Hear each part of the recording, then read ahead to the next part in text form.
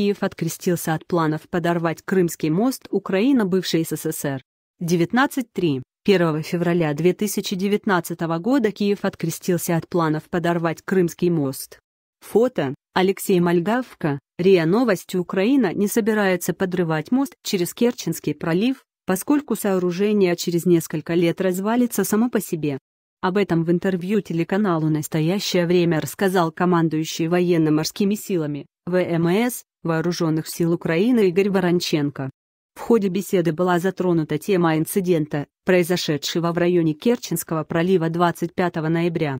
Воронченко рассказал, что украинские катера Бердянск и Никополи буксир Яны Капу осуществляли спланированный переход для исполнения решения Совета национальной безопасности о наращивании нашей корабельно-катерной группировки. Они в соответствии с планом совершали переход из пункта базирования Одесса в пункты базирования Бердянск и Мариуполь, пояснил он.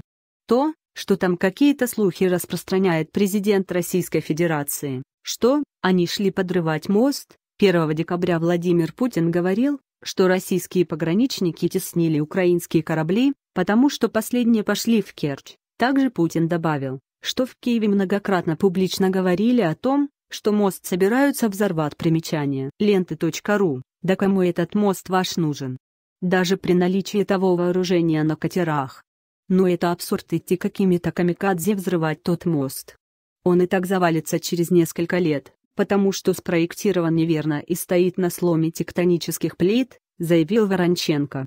При этом командующий украинскими ВМС не удостоил вниманием заявления секретаря Совета национальной безопасности и обороны Украины Александра Турчинова, который 19 декабря рассказал, что в случае возникновения угрозы украинскому государству для Киева не будет проблемой уничтожения любой переправы или моста, в том числе и того, который очень разрекламирован.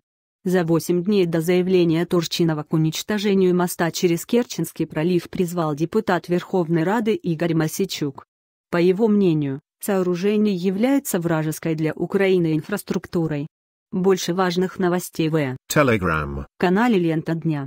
Подписывайтесь.